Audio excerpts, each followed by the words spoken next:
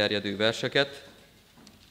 Továbbá Mózes második könyvének tizedik részéből olvasom a 8-tól 11-ig terjedő verseket, és a 24-től 29-ig terjedő verseket. Elmondom még egyszer, Mózes második könyvének először a 8. részéből olvasom a 16. verset, aztán a 21-től 24-ig terjedő verseket, majd a tizedik részből olvasom 8-tól 11-ig terjedő verseket, aztán 24-től 29-ig terjedő verseket. Hallgassuk meg figyelemmel és alázatos lélekkel. Azután ezt mondta az Úr Mózesnek, állj oda korán reggel a fáraó elé, amikor kimegy a vízhez, és mondd neki, így szól az Úr, bocsásd el népemet, hogy szolgáljon nekem. Ekkor hivatta a fáraó Mózest és Áront, és ezt mondta, menjetek áldozatok isteneteknek itt az országban. De Mózes azt felelte, nem volna helyes így cselekednünk, mert, undorodnak az egyiptomiak attól, amit mi áldozunk Istenünknek, az Úrnak. Hiszen ha azt áldozzuk, amitől undorodnak az egyiptomiak, megköveznek bennünket. El akarunk menni a pusztába három napi járóföldre, hogy ott áldozzunk Istenünknek, az Úrnak, ahogyan megparancsolta nekünk. Akkor ezt mondta a fáraó, én elbocsátalak benneteket, hogy a pusztában áldozatok Isteneteknek az Úrnak, csak nagyon messze ne menjetek. Könyörögjetek értem. A tizedik részből, nyolcadik verstől olvasom. Ezért visszavitték Mózest és Áront a fáraó elé, aki így szólt hozzájuk. Menjetek, szolgáljatok Isteneteknek az Úrnak. De kik fognak elmenni? A fiatalokkal és öregekkel megyünk, felelte Mózes. Fiainkkal és leányainkkal, juhainkkal és marháinkkal megyünk, mert ünnepet ülünk az Úrnak. A fáraó ezt mondta nekik, úgy legyen veletek az Úr, ahogyan én elbocsátalak benneteket családostul. Vigyázzatok, rosszat akartok. Nem úgy lesz. Csak ti, férfiak, menjetek és szolgáljatok az Úrnak, hiszen ti is ezt kívántátok. Azzal elkergették őket a fáraó elől. Ekkor hivatta a fáraó Mózest, és ezt mondta, menjetek, tiszteljétek az Urat, de juhaitok és marháitok itt maradnak. Még a családtagok is elmehetnek veletek. Mózes azonban azt felelte, inkább neked kellene véles, véres áldozatra és égő áldozatra valót adod nekünk, hogy azt készítsük el Istenünknek az Úrnak. Velünk fog jönni jószágunk is, nem marad itt egy fia sem, mert abból veszünk, hogy tiszteljük Istenünket az Urat. Mert magunk sem tudjuk, míg oda nem érünk, hogy hogyan kell majd tisztelnünk az Urat. De az Úr megkeményítette a fáraó szívét, és nem akarta elbocsátani őket. Ezt mondta neki a fáraó, takarodj előlem, vigyázz, ne kerülj többé a szemem elé, mert meghalsz, ha még egyszer meglátlak. Mózes így felelt, jól mondod, nem látsz engem többé.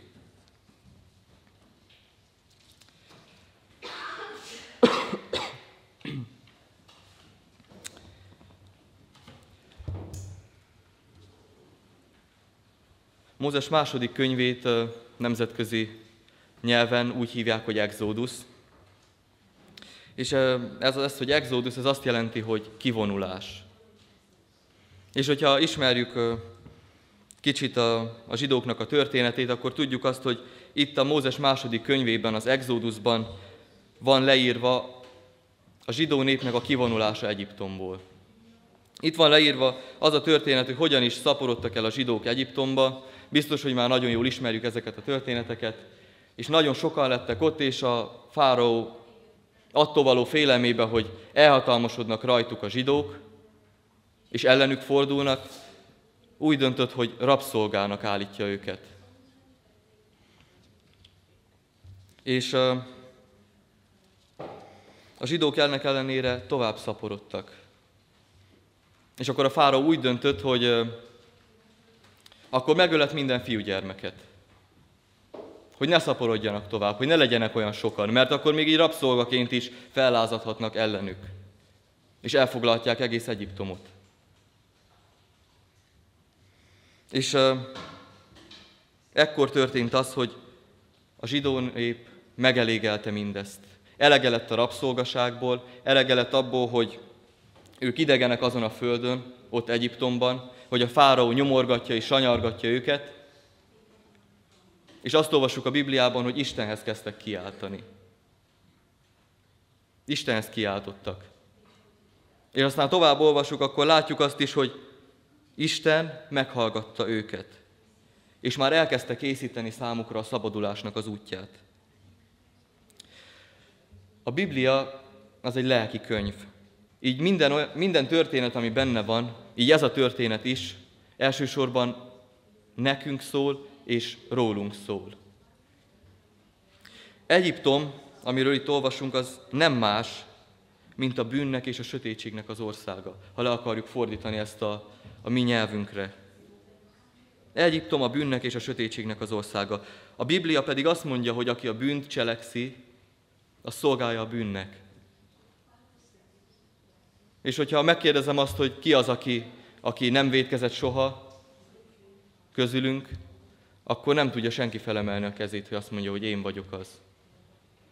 Mert mindannyian védkeztünk, mindannyian követünk el bűnöket naponként. És amikor ezt tesszük, akkor a Biblia szerint szolgái vagyunk a bűnnek. És mindannyian ebbe a, az országba születünk bele. És így a bűn rabszolgáiként élünk Egyiptomban, a világban. A kérdés csak az, és hadd legyen ez az első nagy kérdés most ezen a délutánon, hogy akarunk-e megszabadulni? Akarunk-e szabadok lenni? Akkor nincs más dolgunk, mint azt tenni, amit a zsidók is tettek. A zsidók eljutottak arra a pontra, amikor már elegük volt abból, hogy ők rabszolgaként élnek egy idegen földön. Holott birtokában voltak egy ígéretnek, hogy Isten elkészítette számukra az ígéret földjét, Kánaánt. És eljutottak oda, hogy ebből elegük lett, és Istenhez kiáltottak. Ennyit kellett csak tenniük. És Isten elkészítette számukra a szabadulás útját. Elküldte Mózest, hogy beszéljen a fáraóval, és kiszabadítsa a népét Egyiptomból.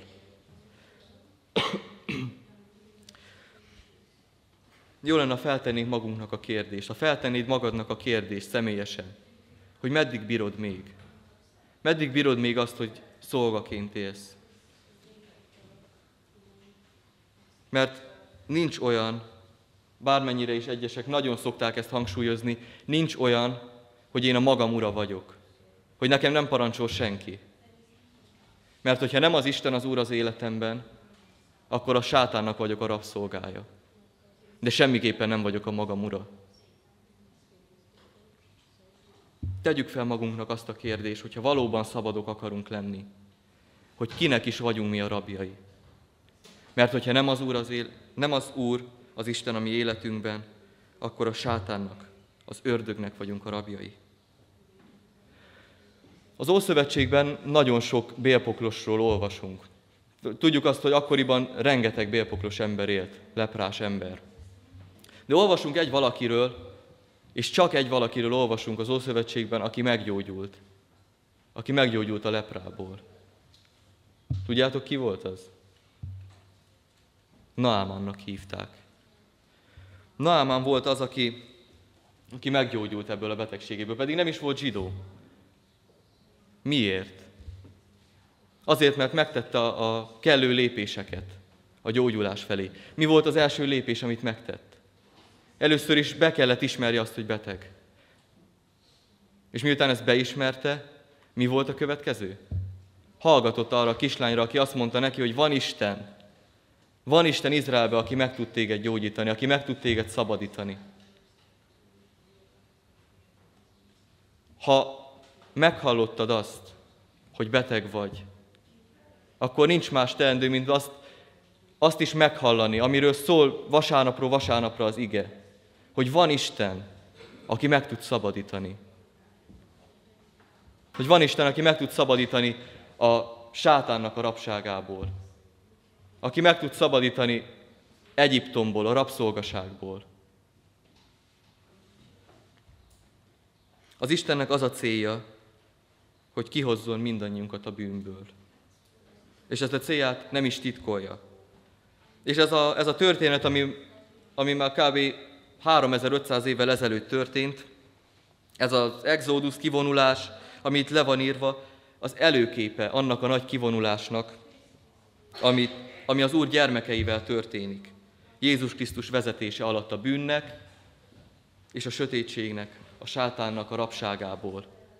Ez a történet előképe mindannak, ami velünk történhet, és ami meg is történt már nagyon sok emberrel, innen a gyülekezetből is.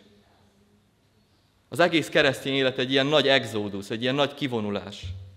Egyiptomból az ígéret földje felé. És ez a nagy kivonulás egy egyre teljesebb elszakadást jelent a sátán uralma és befolyása alól, és egy egyre teljesebb és igazibb odafordulást jelent az Isten felé. Tehát elfordulás a sátántól, és mindattól, amit a világ kínál, és odafordulás az Isten felé.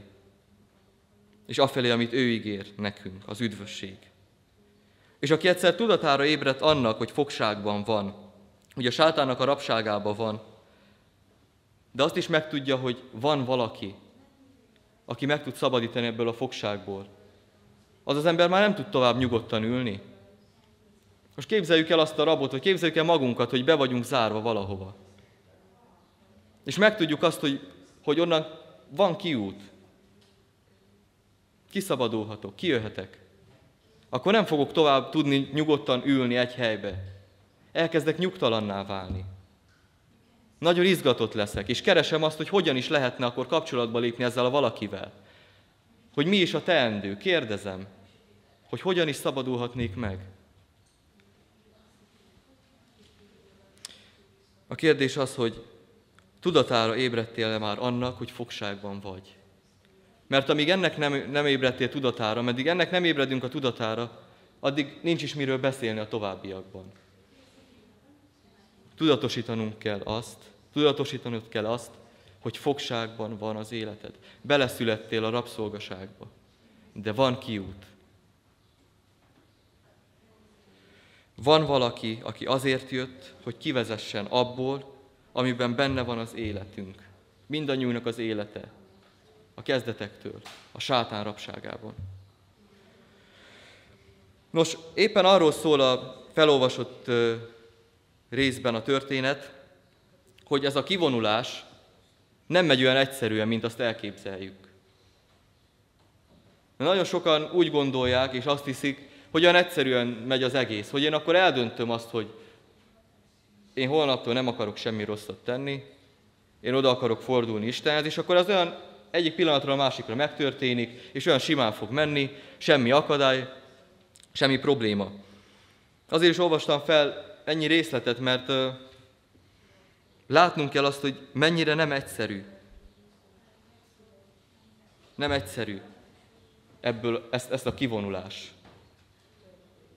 A fáraó amint tudomást vesz a készülődésről, egyre szigorúbban kezdi el sanyargatni a népet. Még súlyosabb terheket rak a szerencsétlen népnek a vállára. És így van ez igazából. A sátánnak a dühét növeli, és az aktivitását felfokozza az, hogyha az emberekben feltámad a vágy az ígéret földje után. Hogyha látja, hogy az emberek készülődnek a kivonulásra. A sátán ettől mindig nagyon dühös lesz. Dühössé válik akkor, hogy te ma úgy ülsz itt a templomba, és úgy vagy itt, hogy felébred benned az a gondolat, hogy valami többre vágysz, hogy valami jobbra vágysz, annál, mint ahogy eltelnek csak úgy a szürke hétköznapok, eltelnek úgy, és nem történik semmi, monotonan, monotonon megy tovább úgy az élet, a maga kis egyszerűségében. És eltelik egy élet, és nem történik semmi.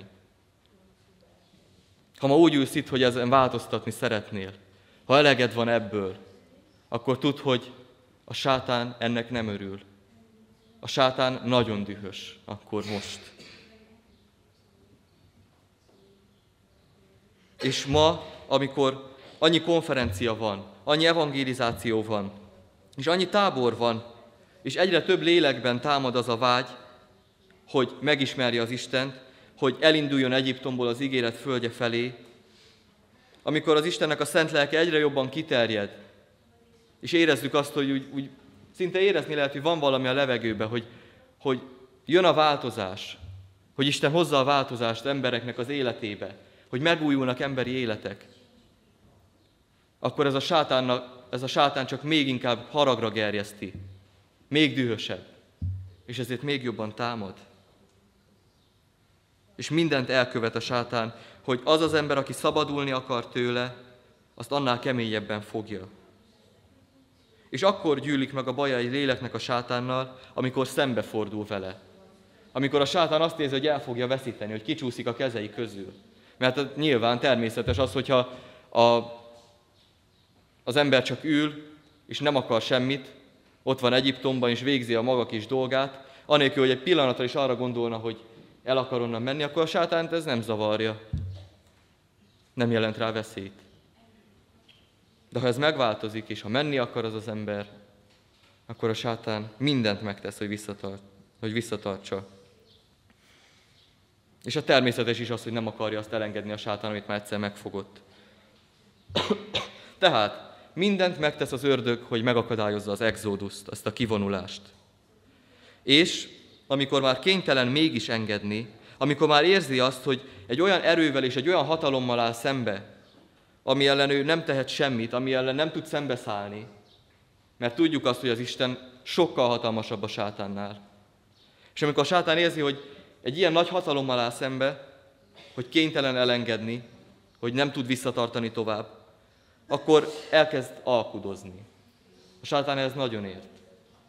Elkezd alkudozni az emberrel. Ajánlatokat tesz a hívő embernek. És a felolvasott versekben épp ezek a felolvasott versek épp ezt a nagyon veszélyes alkudozást fedik fel előttünk. Mert itt ez az a párbeszéd, ami folyik a fáraó és Mózes között, ez igazából az az alkudozás, amit a sátán szokott folytatni a hívő emberekkel, amikor azok ki akarnak vonulni. Négy, négy ilyen ajánlata van a sátánnak, és szeretném, hogyha ezeket sorra vennénk, és egy kicsit megnéznénk őket, hogy milyen csapdát is rejtenek ezek az ajánlatok. Nézzük meg akkor az első ajánlatát a sátánnak. A 8. rész 21. versében van az első ajánlat.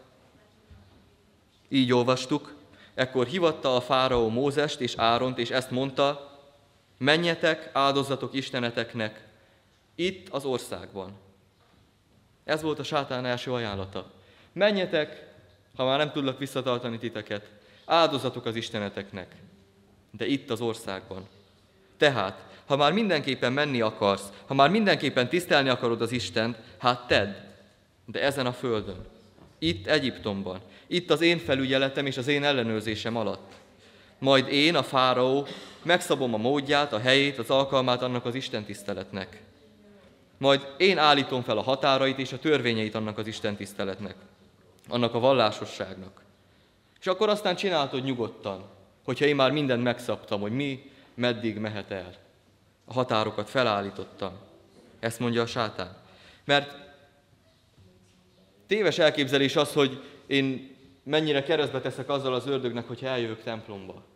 Nem. Az ördögöt egyáltalán nem zavarja az, hogyha én itt ülök a templomba. Ülhetek itt reggeltől estig. Az ördögöt az egyáltalán nem fogja zavarni. Az ördögöt egyetlen egy dolog érdekli, de az nagyon, hogy nehogy megtérjek. Hogy nehogy Istenhez forduljak. Hogy nehogy felébredjen bennem a vágy, hogy én Istennel akarok járni ezután. Azt mondja a sátán, jár templomba nyugodtan. Legyél ott, amennyit csak akarsz, de nehogy megtérj. Imádkozz csak nyugodtan, énekelj, beszélj szép és kegyes dolgokat, csak maradj itt az én uralmam alatt, az én országomban, az én befolyásom alatt. Csak nehogy megtérj. Mózes rögtön meglátta ennek az ajánlatnak a sátáni voltát, és ezt így válaszolt, így olvassuk a 22.-23. versekben, nem volna helyes így cselekednünk. El akarunk menni a pusztába, három napi járóföldre, hogy ott áldozzunk Istenünknek, az Úrnak, ahogyan megparancsolta nekünk. Az Istennel való áldozásnak a feltétele az Egyiptomból való elszakadás. Ha én Istennek akarok áldozni, Istennel akarok járni, akkor ennek van egy komoly feltétele, ami nélkül lehetetlen. El kell szakadni Egyiptomtól. El kell szakadni a sátántól. Másként nem fogadja el az Úr a neki szentelt áldozatot. Másként nem az ő dicsőségét szolgálja, még az a szolgálat sem, amit amúgy azt mondjuk, hogy neki szól.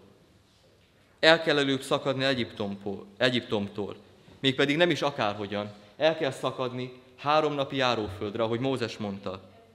Úgy, hogy köztünk és az egyiptombeliek között ott legyen válaszfalként a vörös tenger.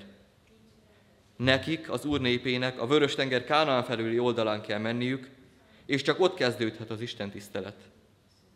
Három napi távolságra Egyiptomtól. És tudjátok, mit jelent ez? Mit jelent ez a három napi járóföld? Azt a három napot jelenti ez, ami nagypéntektől húsvétig terjedt. Ez a három nap választja el a hívő embert a világtól. Mindaz, ami ezen a három napon történt, Krisztusnak a halála, a feltámadása válassza el a hívő embert a sátántól. Vagyis mi ez a Krisztus halála és feltámadása? Ez az a bocsánat, amit akkor kap az ember, ha elfogadja, ha elfogadja Krisztusnak a halálát és a feltámadását. Tehát ez szükséges. Ezt jelenti a háromnapi járóföld. Elfogadni Jézus Krisztust. Elfogadni azt, amit ő tett ott nagypénteken értünk. És elfogadni, elhinni azt, hogy ő fel is támadt a halálból. És éppen ezért, amiért ez megtörténhetett, nekem bocsánatom van. Az Isten nekem megbocsát. És ez a bocsánat mit jelent? Azt, hogy az Isten, amikor megbocsát, akkor hatálytalanítja az én bűneimet. Akkor azt mondja az, azt mondja az ige, hogy olyan messzi, messzi veti el tőlünk, mint napkelet napnyugattól. Tehát amikor Isten megbocsát nekem, akkor hatálytalanítja a bűnt. És ez már valóban elválaszt akkor a sátántól. Mert akkor már nem vagyok megkötözve a bűnöktől. Krisztus halálán és feltámadásán túl kezdődik az új világ, ahol már többé nem úr a sátán, ahol többé már nem tud utánunk jönni, ahová nem terjed ki többé az ő hatalma.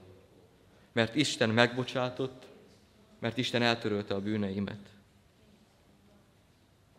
Csak Krisztus halálán és feltámadásán túl kezdődhet el az Istennek szentelt élet és a neki való áldozat.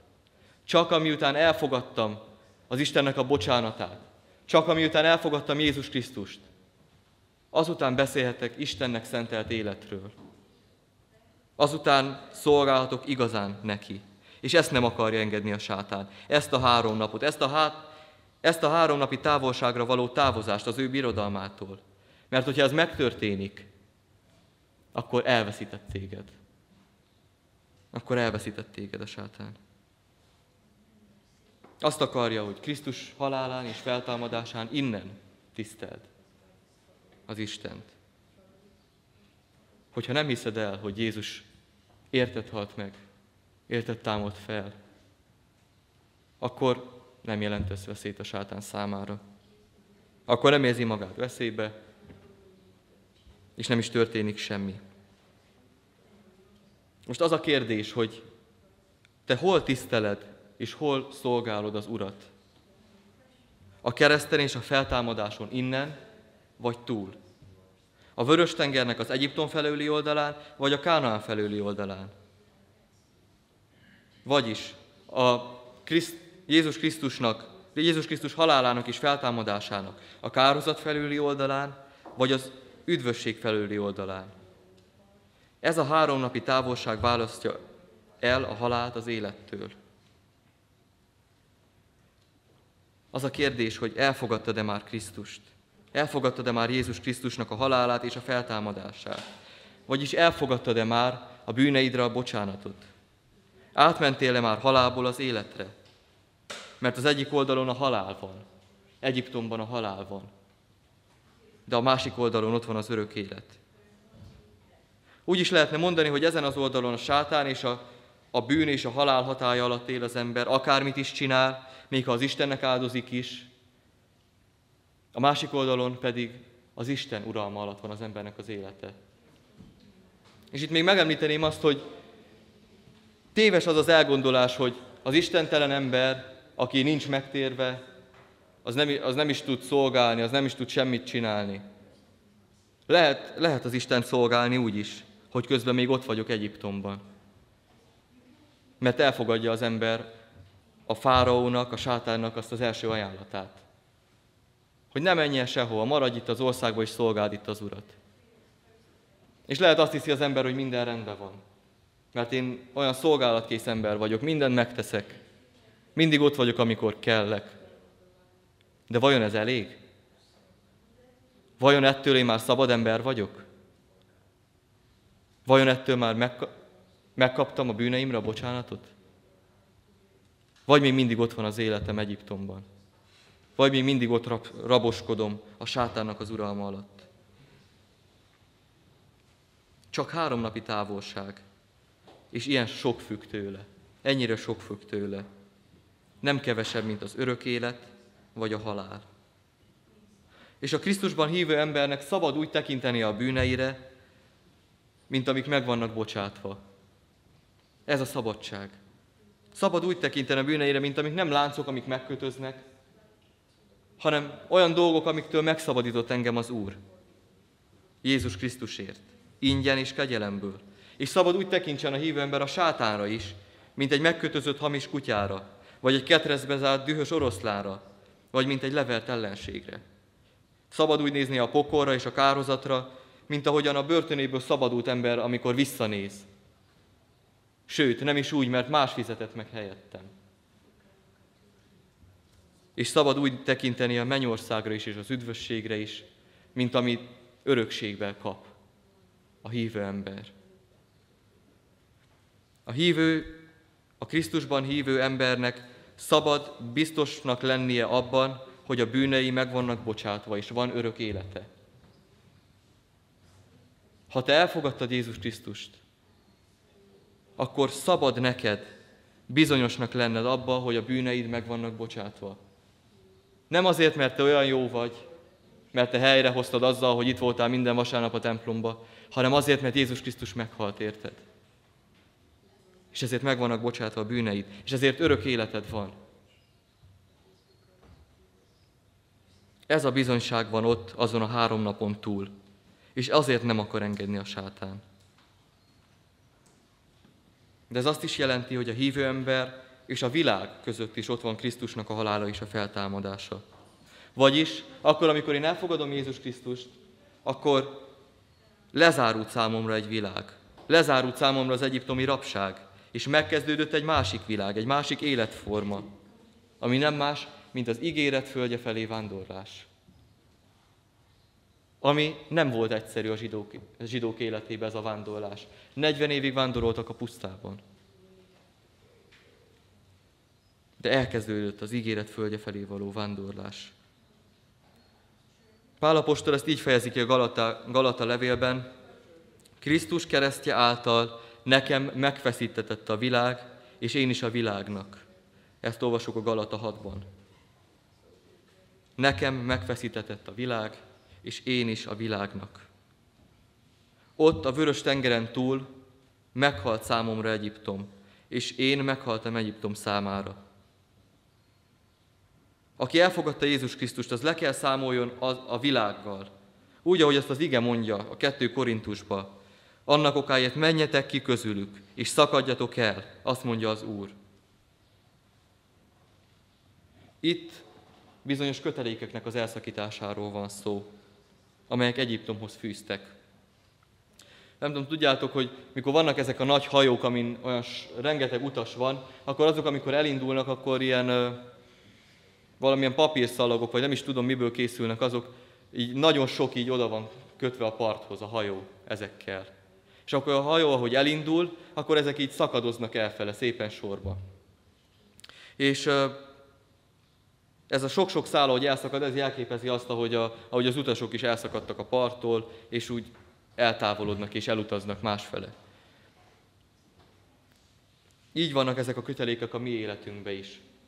És így kell nekünk is elszakadnunk, ahogy ezek a kötelékek elszakadnak. Csak ez nem ilyen egyszerű, mint itt a hajó esetében. Mert sokszor a mi életünket nem csak ilyen kis papírszalagok fűzik oda Egyiptomhoz, nem csak ilyen kis papírszalagok fűzik oda a világhoz, hanem nagyon komoly, vastag kötelekkel vagyunk odafűzve a világhoz, amiket nagyon nehezen tudunk elvágni, nagyon nehezen tudunk elszakadni tőlük. De addig, amíg ezek a kötelékek el nem oldódnak, amíg ezeket a kötelékeket el nem vágod, vagy nem hagyod, hogy elvágja valaki, aki ezt megteheti. Addig hiába evezel, addig hiába akarsz menni, mert nem fog haladni az életed előre. Az a kérdés most, hogy van-e még ilyen papírszalag, vagy éppen kötél, ami visszatart. Lehet, hogy már igent mondtál Jézusnak, lehet, hogy már ott van a vágy a szívedbe, hogy, hogy haladni akarsz az ígéret földje felé, és meg akarsz szabadulni a sátánnak a rabságából. Akkor vizsgáld meg, hogy mi az, ami mégis visszatart. Mi az, ami nem enged szabadulni? Ami miatt nem tudod teljes egészében odaszánni az életedet az Istennek. Szükség van az önvizsgálatra. Szükség van arra, hogy észrevegyük ezeket a kötelékeket, amik még ott tartanak bennünket.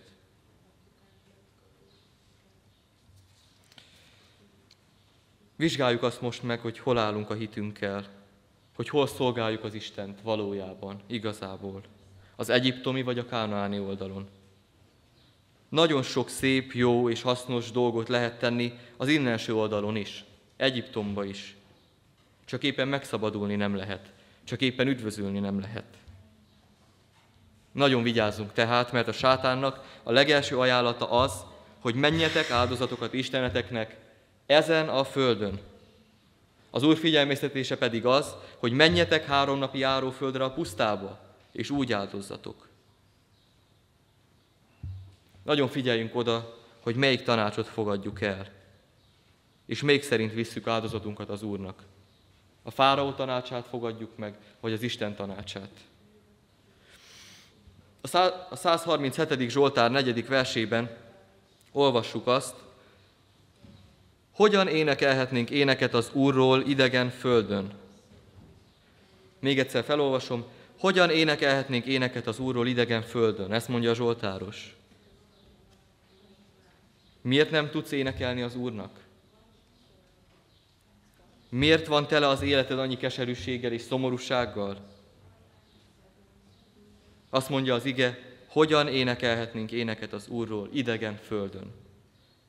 Azért van tele az életed annyi keserűséggel, annyi szomorúsággal, azért nem tudsz tiszta szívből énekelni az Istennek, mert idegen földön vagy. És hogyan tudnánk ideg, idegen földön énekelni az Úrról? De azt mondja a 126. Zsoltárnak az első-második verse, hogy amikor visszahozta az Úr Sionnak a fogjait, olyanok voltunk, mint az álmodók. Akkor megtelt a szánk nevetéssel, a nyelvünk pedig vigadozással. És akkor így szóltak a pogányok, hatalmasan cselekedett ezekkel az Úr. Tehát, amikor az Úr hazahoz az idegen földről, amikor megtérsz, mert ezt jelenti, amikor megtérsz, akkor a keserűség, a szomorúság helyett mi fog történni? Megtelik a szád nevetéssel. Megtelik a szíved örömmel. Boldoggá válsz. Mikor visszahozta az Úr Sionnak fogjait, olyanok voltunk, mint az álmodók, akkor megtelt a szánk nevetéssel, nyelvünk pedig vigadozással. És akkor mit mondtak a pogányok? Azt mondták, hogy hatalmasan cselekedett ezekkel az Úr. Nagy dolgot tett ezzel az Isten. Arra bátorítanálak titeket, és magamat is erre bátorítom, hogy éljünk úgy, hogy ez megtörténjen. Ha valóságos volt az, hogy megtértem, akkor teljen meg az életem örömmel, teljen meg a szám nevetéssel. Boldogan énekeljek az Istennek, mert megszabadított. És akkor ennek egyenes következménye az, hogy azt fogják kérdezni a pogányok, hogy mi történt? Mi történt veled? Mi az a változás az életedben? És azt fogják mondani, hogy hatalmasan cselekedett ezzel az Úr. A sátánnak a második ajánlatát nézzük meg. Ezt a nyolcadik rész 24. versében olvastuk, 8.24-ben. Én elbocsátalak benneteket, hogy a pusztában áldozatok isteneteknek az Úrnak.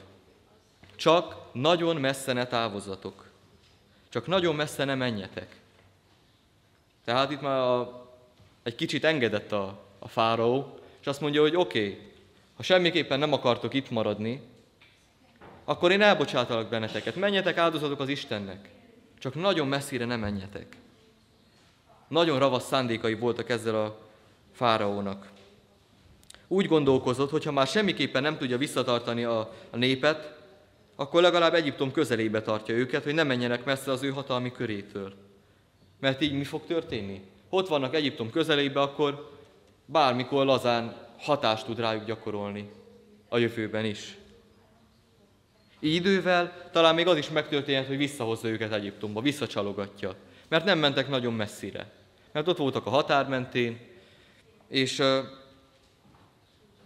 sok hívő embernek az a nyomorúsága, hogy megfogadja ezt a sátáni tanácsot, és nem mer messzire távozni. Pedig nagyon nem jó a határ mentén lakni. Nagyon nem jó. Mert ott örökös a nyugtalanság, a békétlenség és a bizonytalanság. És az ellenségnek a leg, legkisebb támadása is hatást tud gyakorolni az életedre. Hatást tud gyakorolni az életemre. Mert ott lakok a határ mentén. Ott lakok Egyiptomnak a közvetlen közelében. Ha az Isten országa is a világ határán élek, akkor a sátánnak a legkisebb támadása is rögtön célba ér. Rögtön elkezd nyugtalanítani. És jó az, hogyha a határmenti lakosok bentebb költöznek az ország belsejébe, mert nagyobb ott a biztonság. A világtól egyre inkább elhatárolódni, egyre inkább közeledni az Isten országa felé, az Isten felé. Amikor egy-egy hívő emberben megfogalmazódik az, hogy például tizedet akar fizetni, vagy valami szolgálatot akar vállalni, és úgy nagyon ott van a buzgóság a szívében, mert nagyon hálás az Istennek azért, amit értetett, akkor azt hiszem minden hívő ember találkozik ezzel a mondattal, hogy nagyon szép és nagyon jó dolog az, amit te akarsz tenni. Tényleg, adakozol, rendszeresen még hozzá. Ott vagy mindig, amikor szolgálni kell. Nagyon szép, meg ott vagy a templomba is, de hát figyelj már, nem kell azt annyira túlzásba vinni. Nem kell ezt a kereszténységet, ezt a vallásosságot ennyire túlzásba vinni. Azt hiszem, minden hívő ember, aki igazán elkötelezi magát, találkozik élete során ezzel a kijelentéssel. Nem kell azt annyira túlzásba vinni. Amikor egy hívő ember engedelmes akar lenni Krisztusnak, amikor valaki el akar indulni a határól az Isten országának a belseje felé, amikor valaki már nem csak beszélni akar az Istennek az országáról, már nem csak beszélni akar az igéről, hanem meg is akarja élni, hanem tenni is akar valamit, akkor megkapja ezt a nagyon aggódó figyelmeztetést, hogy ne vidd annyira túlzásba. De hívő emberek, ti, akik már megtértetek, ne feledjétek el azt, hogy a sátán is ezt mondta, amikor el akartak menni a zsidók. Sátán is ezt mondta Mózesnek. Elbocsátalak benneteket, csak nagyon messze ne menjetek. Ez azt jelenti, tiszteljétek az Urat, de ne vigyétek túlzásba. Elbocsátalak, csak nagyon messze ne menjetek. Nagyobb eredmény és nagyobb dicsőség az a sátánnak, hogyha olyan lelket tud elbuktatni, és visszaejteni, aki már egyszer elindult az ígéret földje felé. De azokkal az elindult emberekkel tudja ezt megtenni a sátán, akik nem távoztak messzire, akik ott maradtak, akik megfogadták azt a tanácsot, hogy nagyon messze nem menjetek. És lehet, hogy elindultak ezen az úton egyszer már, de aztán visszaestek. És ez a sátán számára óriási nagy trófea, óriási nagy dicsőség. De tudjátok, Krisztus ügyének is nagyobb kára van abból, hogyha egy ilyen lélek, aki már elindult az Istennek az útján visszaesik. Mert akkor ezt látják az emberek, és azt mondják, hogy, hogy mi történt ezzel az emberrel. Azt mondta, hogy milyen jó Istennel élni, és most mégis, mégis hátat fordított neki. Akkor mégsem annyira jó az egész. Tehát Krisztus ügyének is rosszat tesz ezzel. Azt mondja az ige az ilyen emberekről, akik elindultak, és aztán meghátrálnak és visszafordulnak, éppen amiatt, hogy nem távoztak nagyon messze, nem határolódtak el, hanem tudjátok, ez a kétfelé sántikálás. Hogy egy kicsit a, a világba is, egy kicsit az Istennel is, aztán megpróbáljuk úgy egyensúlyozni, és úgy azt az arany középutat járni, amit pedig nem lehet. Azt mondja az ilyenekről az ige, mert ha az Úrnak, a megtartó Jézus Krisztusnak megismerése által a világ fertelmeit elkerülték, de ezekbe ismét belekeveredve legyőzetnek, az ő utolsó állapotjuk gonoszabbá lett az elsőnél. Mert jobb volna rájuk nézve, hogyha meg sem ismerték volna az igazság útját, mint hogy megismerve elpártoljanak a nekik adott szent parancsolattól. A kettő Péterben olvasunk, olvassuk ezt az igét, nagyon kemény ez az ige. Azt mondja, ha valaki megismerte már Jézust, és ezután a megismerés után mégis meggondolja magát, és mégis visszafordul, akkor rosszabbá lesz az, első, az utolsó állapotja az elsőnél. És jobb volna ránézve, hogyha meg sem ismerte volna, mint hogy elindult és visszafordult. Tehát ez azt jelenti, hogy ha valaki nem akar messzire elmenni, nem akar messzire elhatárolódni a világtól, akkor az, az jobb, hogyha el se indul. Mert ez csak az Úr ügyét fogja kompromittálni. Tehát igenis messzire kell menni. Azt mondja Jézus, aki nekem szolgál, az engem kövessen. És aki Jézust követi, azt Jézus egyre messzibbre fogja vezetni. Egyre messzibbre fogja vezetni, be egészen az Isten országáig. Jézus ki is jelölte az irányt. Azt mondja egyik helyen, hogy legyetek szentek. Másik helyen azt mondja, legyetek tökéletesek. De ezek a dolgok, amiket amiket Jézus mondott, hogy tegyük meg, hogy legyünk szentek, legyünk tökéletesek, ezek a dolgok nem ott találhatók meg a határ mentén, ott fél lábbal Egyiptomban, ott fél lábbal a világban, hanem ott az Isten országában. Ezért szükséges elszakadnunk. A következő, a harmadik, szintén egy nagyon veszedelmes ajánlata a sátánnak. Azt, ezt a tizedik rész, tizenegyedik versében olvastuk. Azt mondja, a fáraó, csak ti férfiak menjetek és szolgáljatok az Úrnak. Csak ti férfiak menjetek és szolgáljatok az Úrnak. Itt az a veszedelem, hogy a fáraónak arra a kérdéséről kik azok, akik el akarnak menni. Ugye a fáraó azt mondta, hogy na jó van, Mózes, el akartok menni, akkor mondd meg nekem, hogy kik azok, akik el akarnak menni. És akkor Mózes nagyon határozottan azt mondja, a fiatalokkal és az öregekkel megyünk, a fiainkkal és a leányainkkal. Ezt olvasjuk a 9. versben.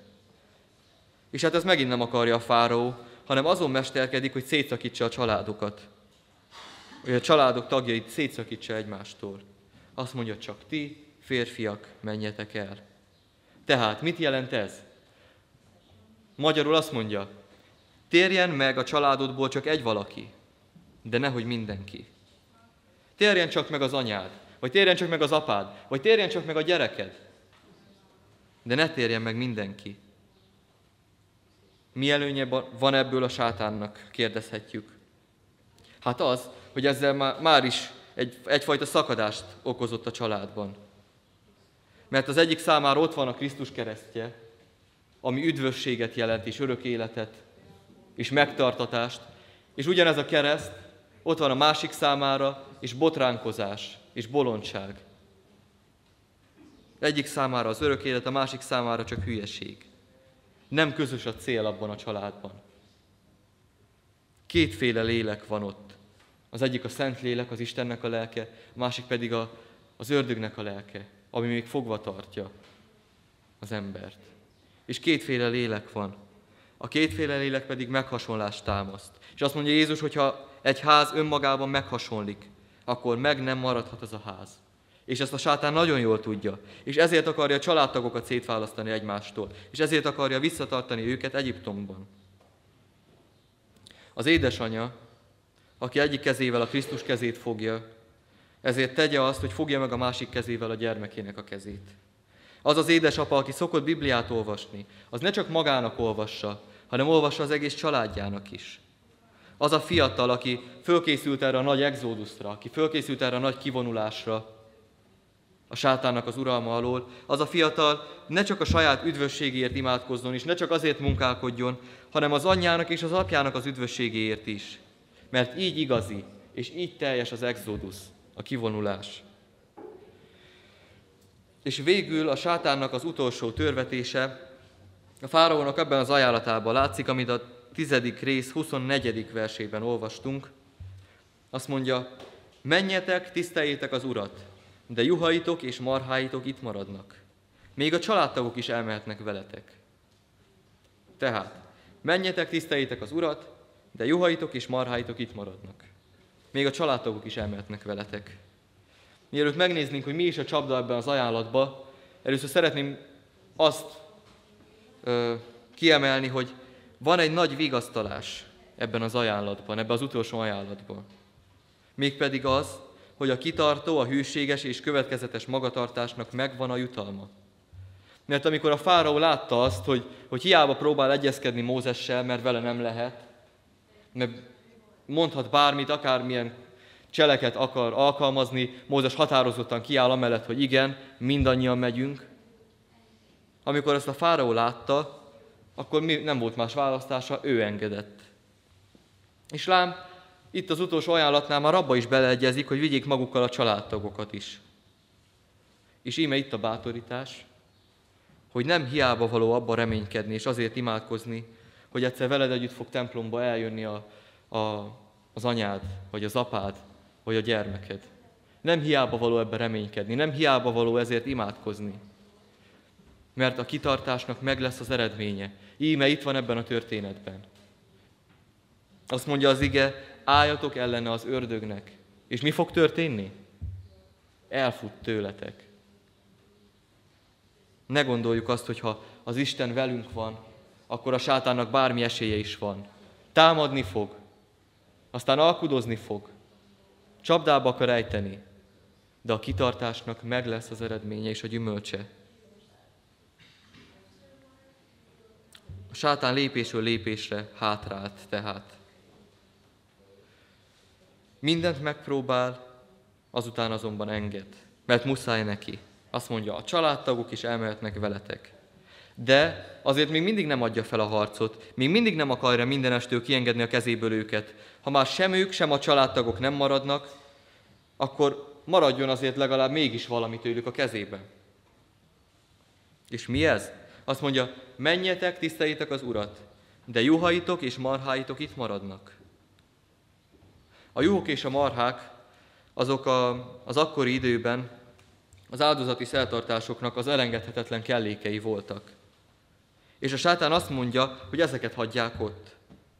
Hogyha már meg kell lenni, hogy elmenjenek, akkor legalább azokat az eszközöket hagyják ott, amivel az Urat tudják szolgálni. Ugye ez volt a csel benne. Ott hagyják az összes állatot, akkor ők kimennek a pusztába, de mit fognak feláldozni? És azt mondja, hagyjátok itt azokat, ti mind elmehettek, de ezt hagyjátok itt. Meg akarja őket fosztani az Úr szolgálatának és tiszteletének a képességétől, hogy ne legyen mivel áldozniuk az Úrnak. De ezek az állatok nem csak áldozati eszközök voltak, hanem ezek az állatok képezték az akkori embernek a vagyonát is. Attól függött, hogy egy ember milyen gazdag, hogy mennyi állata volt. És ezt akarja a sátán, hogy ott maradjon. És éppen ezért nagyon alattomos ajánlat ez a sátánnak. És ebbe a legtöbb hívő ember nagyon könnyen beleugrik, hogy megtér, tényleg megtér, de a juhokat és a marhákat, vagyis a vagyonát ott hagyja Egyiptomban. És hogy mit jelent ez? Nem kell túl sokat gondolkoznunk rajta, elég, hogyha megnézzük azt, hogy csak egy nap mire költjük el a pénzünket. És úgy, úgy egy kicsit megvizsgálni azt, hogy mennyi belőle hasznos, és mi az, amit végül is a világnak dobunk ki. A világnak hagyunk ott, amit ott hagyunk Egyiptomban. Az egyik lelkész mesélte egyszer azt el, hogy új gyülekezetbe került, és ott beszélgetett a gyülekezeti tagokkal, a presbiterekkel, és szóba jött a, az egyházadó, hogy hogy is legyen. Csak azt mondta a lelkész, hogy úgy gondolta, hogy ne legyen egyházadó, mindenki saját belátása szerint annyi adományt ad, amennyit ő jónak lát. De hát milyen az ember, így akkor nem tudom, hogy ki mennyit ad, és nehogy véletlenül én kevesebbet adjak. Tiszteltes úr, mégis azért mondjon már egy összeget, egy olyan kb hogy mégis mennyi lenne az az összeg, amit úgy, úgy ad, adjak. Mert én magamtól úgy nem tudom eldönteni, mennyit adjak. És akkor a lelkész így ránézett, és azt mondta, na tudja mit? Legyen. Legyen annyi az egyház adója egy évre, amennyi pénzt elkölt cigarettára egy hónapba. Az ember így összehúzta a szemöldökét, elkezd számolni magába. Egyszer ránéz a lelkész, azt mondja, az sok. Azt mondja a lelkész, jó van, akkor mást mondok. Legyen annyi egy évre az egyházadó, amennyit egy héten elkölt cigarettára. Megint elkezd számolni az ember, így elkezdi bólogatni a fejét, azt mondja, tiszteletes úr, az is sok. Na, de mégis mondjon már egy, egy, egy összeget valamit. Azt mondja, na jó, figyelj ide, akkor egy utolsót mondok. Legyen annyi az egyházadója egy évre, amennyi pénzt ott hagy a világban, például május 1-én. Ez csak egy nap. Annyi legyen egy évre az úré, amennyit egy nap, május egykor ott hagy. Gondolom tudjátok a válaszát az embernek. De valahogy így vagyunk mi is. Ott hagyni a pénzt a világnak, kidobni sokszor tényleg értelmetlen dolgokra, az oké, okay, azzal nincs semmi gond. De odaszánni az Istennek, arra már azt mondjuk, hogy az sok. Uram, én tényleg szeretlek téged, én tényleg szolgálok neked, megteszek, amit tudok, de, de azért mindennek van határa. Azért a pénzem az az, az enyém. És nagyon, sokor, nagyon sokszor itt bukunk el ennél. És észre sem vesszük azt, mert ez egy olyan alattomos ö, csapdája a sátának, amit tényleg nem veszünk észre nagyon sokszor. De valami ott maradt a sátánnál. Valamit ott hagytunk Egyiptomba. És ennél a valaminél fogva még hatást tud ránk gyakorolni. Mert nem szakítottuk el magunkat teljesen Egyiptomtól, a világtól. Pedig az Isten azt mondta a zsidóknak, és azt mondja nekünk is, hogy amikor kijöztük Egyiptomból, akkor fosszátok ki Egyiptomot. Ne hagyjatok ott semmit. Mindent hozzatok el magatokkal.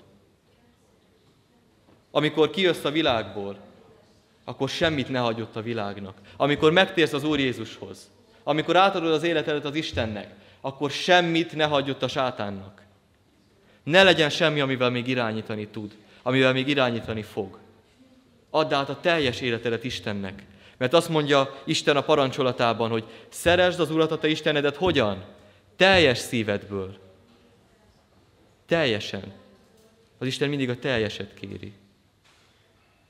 Ő nem felet akar, mert ő sem felet adott nekünk, hanem ő egészen odatta értünk önmagát. Vizsgáljuk felül az életünket. Vizsgáljuk felül azokat a pontokat az életünkbe, amelyeken, amelyeken keresztül a sátánnak még van beleszólása az életünkbe. Amiken keresztül a sátán még, még manipulálni tud bennünket, még irányítani tud bennünket. És vigyük ezeket az Úr elé. Mert az Isten mindent magának igényel. Nem akar a sátánnal osztozni. Ezért vigyük az Úr elé. És végül még ezt említeném meg, amiről itt olvastunk, hogy az Úr megkeményítette a fáraónak a szívét, és nem akarta elbocsátani őket. Nagyon sokat gondolkoztam azon, hogy mit is jelent az, hogy az Úr megkeményítette a fáraónak a szívét. Hogy miért? Hát akkor nem is volt, nem is volt esélye, hogy elengedje a zsidókat, mert a az Úr, Úr keményítette meg az ő szívét. De hogyha jobban végignézzük és végigolvassuk ezt az egész történetet, akkor azt láthatjuk, hogy az első csapástól kezdve, egész a hetedik csapásig mindig a fáraó keményítette meg a saját szívét. Nem az Isten.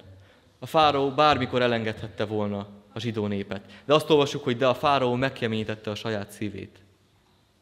De aztán eljött itt a, a nyolcadik csapástól arra fele, amikor már a fáraónak esélye sem volt. Az Úr keményítette meg a szívét, és ebben egy óriási üzenet van. egyszer le fog járni a kegyelmi idő. Egyszer el fog érkezni az a pont, amikor már nem lesz lehetőségem arra, hogy bármi is változzon az életemben. Annyi viszont biztos, hogy most még van lehetőség. És azt mondja az ige, hogy ma, ha az ő szavát halljátok, akkor ne keményítsétek meg a szíveteket. Ne keményítsétek meg a szíveteket úgy, ahogy a fáraó tette. Mert el fog jönni az az idő, amikor nem lesz lehetőség. Lezárul a kegyelmi idő. Ez pedig akkor történik meg, amikor meghalunk. És hát senki nem tudja azt, hogy mikor, mikor jön el az utolsó pillanat az életében. Lehet az nagyon fiatalon, de lehet nagyon öregen is. Nem tudhatjuk. De a most az biztos. A ma az biztos. Ez a délután biztos. Ma, ha az ő szavát hallod, ne keményítsd meg a szíved. Én kívánom azt, hogy, hogy kapjunk elég erőt ahhoz, hogy belássuk azt, hogy hol is tart az életünk. És ha még ott van Egyiptomba, ha még ott van a bűnnek az országába, akkor legyünk, legyen bátorságunk azt mondani, hogy én valami többre vágyok, hogy én ki akarok vonulni innen, hogy én részes akarok lenni ennek a nagy kivonulásnak, annak a nagy exodusnak, amit az Úr Jézus vezet, és aminek győzelem lesz a vége, aminek örök élet lesz a vége. És ne dőljünk be a sátán ajánlatainak. Bármilyen kecsegtető is az ajánlat. Mert a vége az halálba visz. Amen.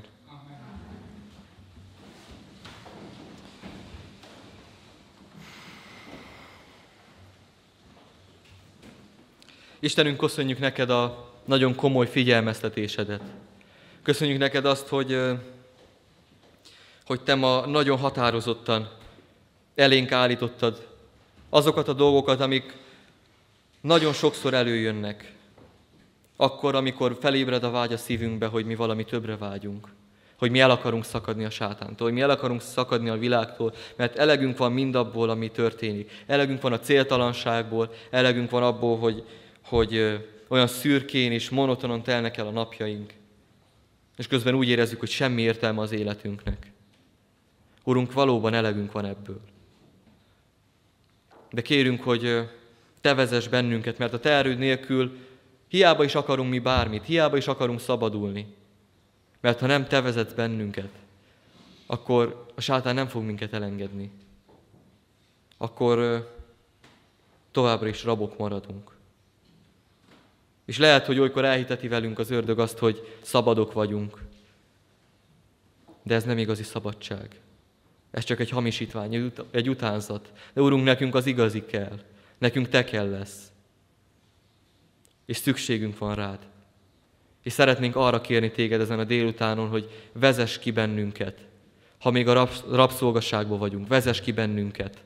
Ha pedig már elindultunk ezen az úton, akkor kérünk, hogy erősíts meg bennünket, adj nekünk kitartást, hogy nehogy visszaforduljunk, vagy nehogy úgy tegyünk, ahogy a zsidók tettek, hogy elkezdünk zúgolódni, és elkezdünk visszavágyni, hanem lebegjen a szemünk előtt mindig a cél, az ígéret földje, Kánaán, az örök élet és az üdvösség. Urunk, szeretnénk, hogyha valóban célt adnál az életünknek. Szeretnénk, hogy szeretnénk egy értelmes életet élni. Szeretnénk veled szoros kapcsolatban élni. Kérünk, hogy ebben erősíts meg bennünket, és kérünk, adj elhatározást a szívünkbe, hogy soha ne álljunk meg, soha ne adjuk fel, soha ne, ne nézzünk hátra hanem mindig csak előre rád tekintsünk. Mert akkor biztosak lehetünk benne, hogy győztes lesz az életünk. Amen. Mi, atyánk, ki vagy a mennyekben, szenteltessék meg a te neved, jöjjön el a te országod, legyen meg a te akaratod, mint a mennyben, úgy a földön is. Mindennapi kenyerünket add meg nékünk ma, és bocsásd meg védkeinket, miképpen mi is megbocsátunk azoknak, akik ellenünk védkeztek. És ne vigy minket kísértésbe, de szabadíts meg minket a gonosztól, mert tiéd az ország, és a hatalom, és a dicsőség, mind örökké. Amen. Istennek népe, az Úr áldjon meg és őrizzen meg téged. Világosítsa rád az Úr az ő orcáját gazdagon, és könyörüljön rajtad. Fordítsa az Úr az ő orcáját tereját, és adjon néked békességet. Amen.